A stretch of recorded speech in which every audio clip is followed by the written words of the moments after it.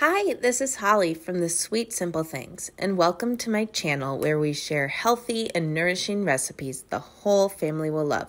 Make sure you hit subscribe to see all the latest recipes. Today we're making another Ninja Creami flavor. This is cookies and cream. So start by putting your Ninja Creami Pint container on a scale and we're going to measure out 100 grams of 2% cottage cheese. If you don't have a scale, this is just under half a cup. And yes, you can use Greek yogurt instead if you really don't like the idea of cottage cheese in your ice cream. But I promise you can't taste it. We're going to blend it up. So it just makes it super creamy and rich and thick and scoopable. Then 50 grams of a whey isolate protein powder. I'm using Legion. I'm really liking it lately just because it has a very natural flavor and because 50 grams is kind of a lot. You want to have a good tasting protein powder. Um, if you are using like a cheap one that just tastes very artificial, your ice cream is just going to taste very artificial and cheap. So uh, your ice cream is only going to taste as good as your protein powder is. So I'm really liking Legion. If you buy the big sizes is not too expensive, but use whatever kind you like. I just recommend for the proportions that I'm using to use whey isolate.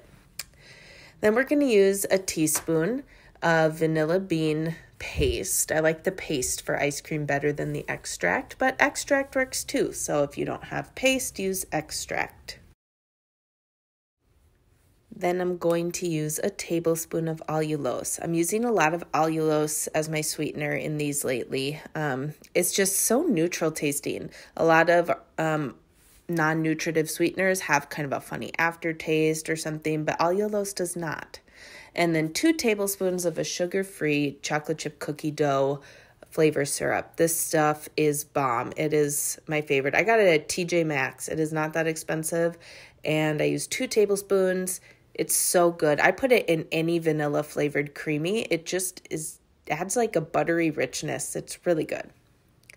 And then we're going to fill up to the line with fat free milk. I like Fairlife because it's creamier, less calories than regular. Um, if you fill up to the line, that is about one cup.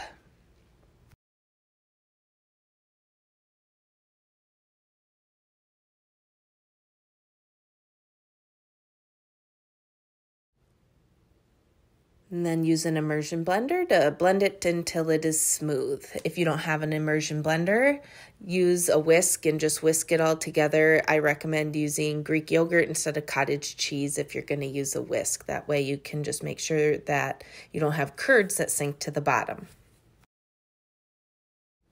We are going to freeze this on a flat surface for 24 hours. All right, time to spin. Um, I'm going to put it into my bowl and get my lid secured.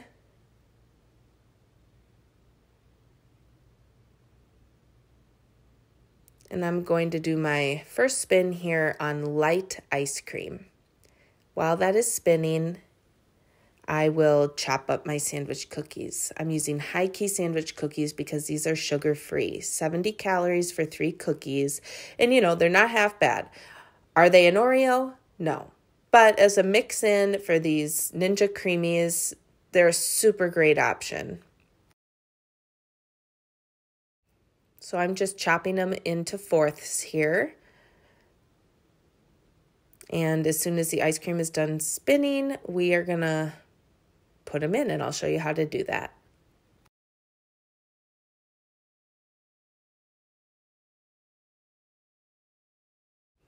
Okay, so when it's done spinning, first thing you want to do is check the texture. If it's still crumbly and powdery, you're going to want to do a respin. But mine looks pretty good.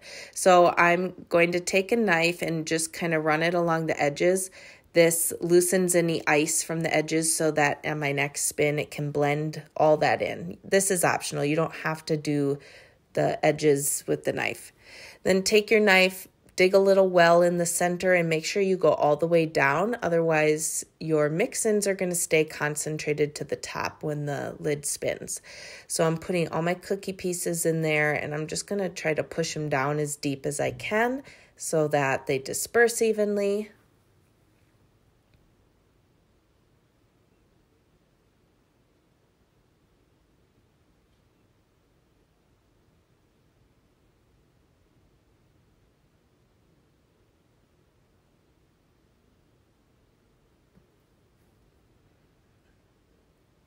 Then we're going to put it back in the machine, get the lid on there. And this time we're going to press the mix in setting. So find the mix in, press that.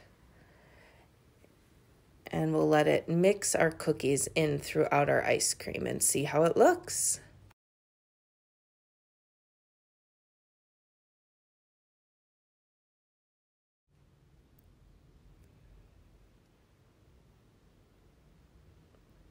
Okay, it looks so creamy and good. It's got the cookies all broken up throughout. Now we'll test it.